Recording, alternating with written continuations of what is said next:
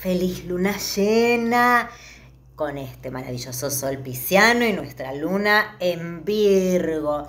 Recordá que cuando estábamos en la luna nueva Piscis Piscis, te dije que en un papelito escribas, escribas todos tus sueños, tus planes, todo lo que vos necesitabas, porque va a ser necesaria para cuando el sol ingrese en Aries, ahora el 20 de marzo, y que la habíamos puesto debajo de una velita. Cualquier cosa, fíjate que están ahí. Rituales de la luna nueva de Pisces preparándonos para Aries. Bien, revísalo.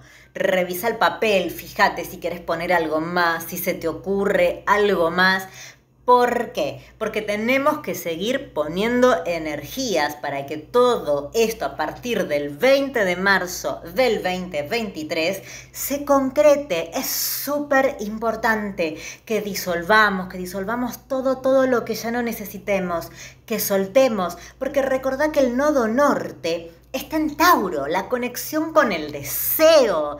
Tenemos todos, todos que ir hacia nuestro deseo, nuestra felicidad, la conexión con el placer, ¿no? El principio de placer. Y tenemos todos que salir de este nodo sur que está en Escorpio, que tiene que ver con un principio de tánatos, de muerte, ¿no?